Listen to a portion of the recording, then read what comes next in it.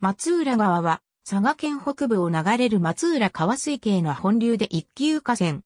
竹雄市北西部の黒神山の北、青良山に発し、伊万里市東部で、筑肥線を沿わせつつ北へ流れる。唐津市大地町で旧良木川と、同市大母殿で、徳西川と合流。唐津市市街地で川幅を広げ、唐津湾に注ぐ。河口の西に唐津城がそびえる。松浦郡の郡名に由来する。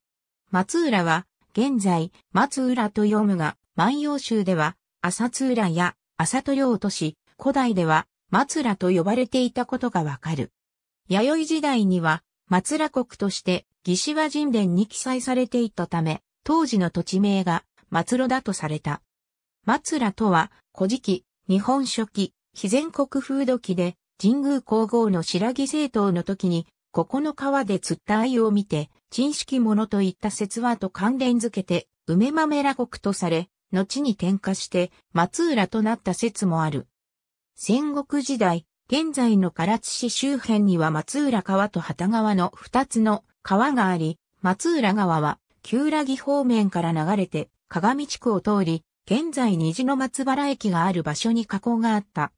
旗川は今里方面から流れてきて、現在の渡田地区を通り、三島山の西側を通って唐津湾に注いでいた。西暦1600年頃、豊臣秀吉の命令によって、唐津地方を統治することとなった寺沢広隆が三島山の山頂に城を築いた。この時に三島山の東側を掘って旗川川口とし、元の旗川河口を埋め立てて城下町を形成した。そしてさらに、たびたび氾濫を起こしていた松浦川と旗川を一本化し、堤防を築いた。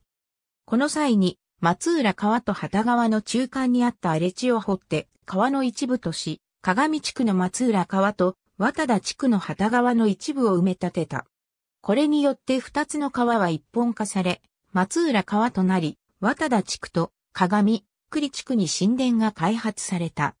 河川法大市場第一項の規定により、河川法適用河川松浦川の支線として、昭和36年7月18日時の通り、認定した。鬼塚駅に停車中の唐津線列車内から望む松浦川と鏡山。ありがとうございます。